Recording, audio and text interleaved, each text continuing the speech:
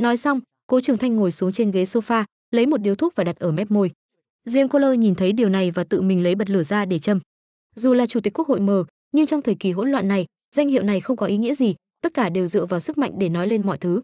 Athena nói nhỏ, cố chủ, anh nghĩ sao về cổng ở tam giác quỷ và sinh vật tự xưng đến từ sao địa ngục mà anh vừa tiêu diệt?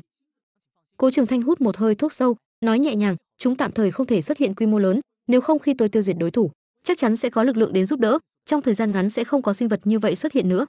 Trong thời kỳ hỗn loạn này, kẻ mạnh là vua, các bạn đừng để các vấn đề khác làm trì hoãn việc tu luyện, để giao cho những người dưới tay làm là tốt. Khi nói đến đây, cố trường thanh đứng lên, nói nhạt nhẽo, tôi sẽ đi trước, hãy tu luyện tốt. Anh không quen ở nơi khác và cũng không mất nhiều thời gian để bay về. Cố chủ, không ở lại một ngày sao?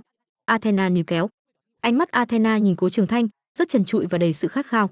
Trong đầu cô, nếu anh ấy dám ở lại đêm nay, chắc chắn cô sẽ bỏ lên giường của anh cố trường thanh nói nhạt nhẽo, không, sức mạnh quá yếu, trong 4 tháng tới, tôi sẽ không xuất hiện. Nói xong, anh ấy tiếp tục hóa thân thành lưu đào hàn côn, kỳ phàm, hắc long, minh thần khải giáp và bước ra khỏi phòng. Khi ra khỏi cửa lớn, trong tiếng ầm ĩ, anh ấy biến mất trên bầu trời. Việc tới đây chỉ là để lấy viên hạt nhân cấp độ 7 cao nhất. Anh ban đầu muốn ở lại vài ngày, nhưng sau khi gặp sinh vật từ sao địa ngục, anh không còn tâm trạng đó nữa. Anh phải tu luyện trước kỳ phàm huyết giáp, một tuyệt kỹ rất bá đạo, có khả năng áp đảo tất cả sinh vật trong phạm vi ảnh hưởng của nó, bất kể bao nhiêu cấp nếu không có anh ta, chúng ta gần như đã sụp đổ. Ở ngoài cửa, nhìn hình ảnh của cố trường thanh biến mất riêng cô lơ nói, sau khi hoàn thành nhiệm vụ, tôi cũng sẽ tu luyện. Athena gật đầu, ít nhất là ở cấp độ 7 mới có thể tự bảo vệ được. Khi hôm nay gặp con quái vật từ sao địa ngục, họ cảm thấy một cảm giác bất lực sâu sắc. Khao khát sức mạnh càng trở nên mạnh mẽ hơn. Vương quốc cửu châu, kinh đô, biệt thự lâm gia, lâm nguyệt giao đã trở về. Ba anh em gặp nhau, trong đó âm thanh vui vẻ không ngừng tham gia nhóm thành viên của anime review 47 để nhận những lợi ích sau. Đọc truyện chữ trước, mỗi ngày 3 chương tương đương 8 đến 10 video. Xem video đầu tiên, nhận video bản gốc không che. Tự xây kênh tiktok của riêng mình. Đọc nhiều bộ truyện trả phí đang hot khác nhau. Follow để nhận thông báo. Nhân tiện, cổng donate đã mở. Anh em nhớ ủng hộ ép nhé. Này nguyên ngày đi kiếm hình ảnh, nhờ AI tạo hình ảnh nhân vật mới cho anh em xem đó. Xem clip được pin đầu tiên để ủng hộ. Ta thay mặt xin cảm ơn các anh em đã ủng hộ rất nhiều. Trong biệt thự, lâm thần đang chơi đùa với cố yên yên khi điện thoại trong túi reo lên. Cậu chạy đây nghe cuộc gọi trước nhé. Lâm thần vỗ nhẹ đầu cô bé, vui vẻ nói, được rồi, chỉ sau vài giờ ở bên nhau, anh thấy rất quý yên yến được cậu ơi. Yên yến gật đầu nghe lời và chạy đi tìm mẹ của mình. Sau khi ngủ một vài giờ trên máy bay, cô bé không còn buồn ngủ nữa. Ai vậy? Lâm thần nhìn số điện thoại lạ trên màn hình và nhấc điện thoại lên, hỏi. Chủ tịch lâm, xin chào anh. Trong điện thoại, tiếng nói của một chàng trai trẻ truyền đến lâm thần nói, vào việc đi, tôi không có thời gian để nói chuyện dài dòng với anh. Biết số cá nhân của tôi, chắc chắn anh có một vài mối quan hệ khá đấy. Cùng nhau, giết chết cố trường thanh như thế nào? Người bên kia cuộc điện thoại trực tiếp tiết lộ ý đồ. Nghe lời, lâm thần đi lên tầng trên. Người trong điện thoại dám nói về việc giết cố trường thanh, hoặc là người ngốc, hoặc là người mạnh. Sau khi trở lại phòng, lâm thần nói, thú vị, làm sao để giết? Hãy kể cho tôi về kế hoạch của cậu. Tôi mạnh hơn anh, mặc dù áo giáp đế hoàng của anh có sức mạnh vô tận nhưng anh vẫn chưa đạt đến cấp 6. cho đến khi anh hoàn toàn thức tỉnh đế hoàng, ở cùng một cấp, anh vẫn không phải đối thủ của tôi. Dưới tay tôi cũng có không ít anh em mạnh mẽ, nhưng chỉ mình tôi thì không chắc ăn lắm. Người trong điện thoại rất tự tin nói, nếu anh không tin, chúng ta có thể gặp nhau ở phòng vip 508 tại khách sạn hoàng thiên. Người này dường như biết rất nhiều về áo giáp đế hoàng của lâm thần. Ngay cả việc thức tỉnh hình thái cuối cùng ở cấp 6 cũng biết. Lâm thần nghe lời đối phương và nói cười nhạt, lời cậu nói đã thực sự kích thích sự tò mò của tôi. Chờ một chút, tôi sẽ đến ngay. Được, chờ anh đến nhanh. Đầu dây thoại kết thúc sau khi đối thoại xong. Thật thú vị khi có nhiều người tàn ác muốn giết cố trường thanh gấp điện thoại, lâm thần cười nhẹ và nhanh chóng đi xuống từ tầng trên. Tiểu thần, đã muộn rồi, em vẫn muốn đi ra ngoài à?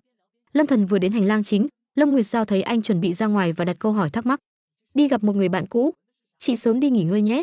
Nói xong, anh nhanh chóng ra khỏi nhà. Tham gia nhóm thành viên của anime review 47 để nhận những lợi ích sau. Đọc truyện chữ trước mỗi ngày 3 chương tương đương 8 đến 10 video. Xem video đầu tiên, nhận video bản gốc không che. Tự xây kênh tiktok của riêng mình. Đọc nhiều bộ truyện trả phí đang hot khác nhau. Follow để nhận thông báo. Nhân tiện, cổng donate đã mở. Anh em nhớ ủng hộ S nhé. Này nguyên ngày đi kiếm hình ảnh, nhờ AI tạo hình ảnh nhân vật mới cho anh em xem đó. Xem clip được pin đầu tiên để ủng hộ.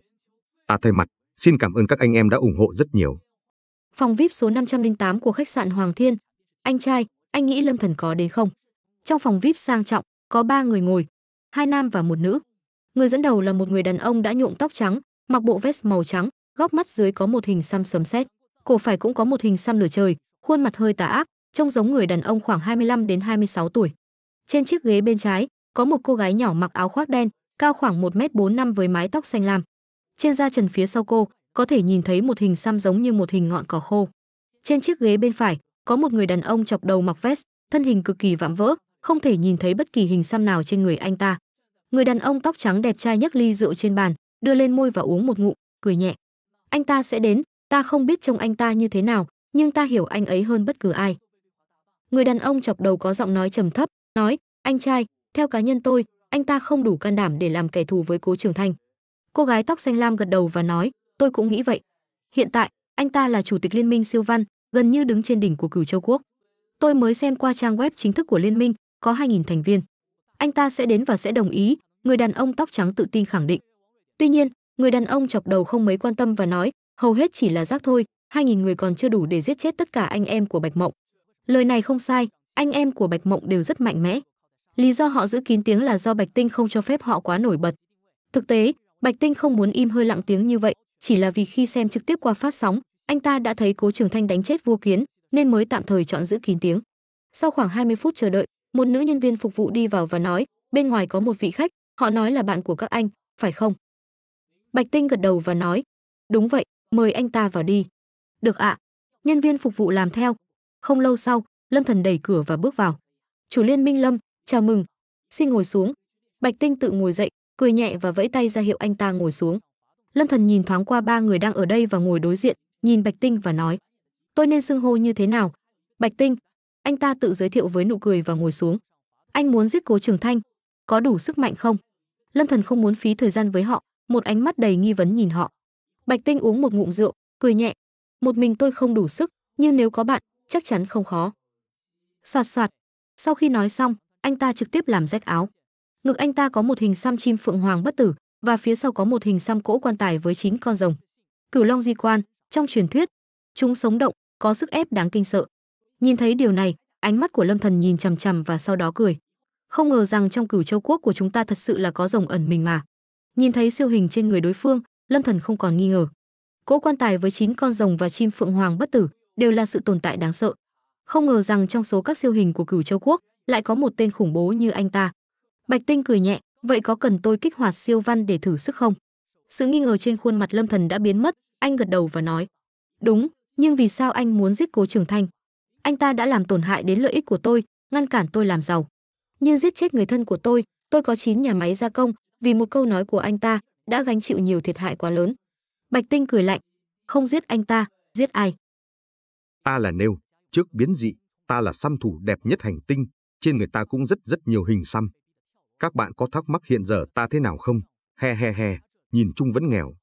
Này admin thuê ta tới để quảng cáo, cổng donate đã mở, để kênh sống sót và ra clip thường xuyên hơn. Mời các huynh đệ xem clip được ghim đầu tiên để donate. Ta xin chân thành cảm ơn.